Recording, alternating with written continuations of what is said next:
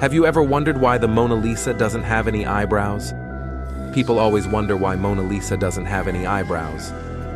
This mystery has been solved, all thanks to an engineer named Pascal Cotte. When Da Vinci had painted Mona Lisa, he indeed painted her eyebrows. But over time, these eyebrows were eroded due to cleaning over time to the point where it's no longer visible today.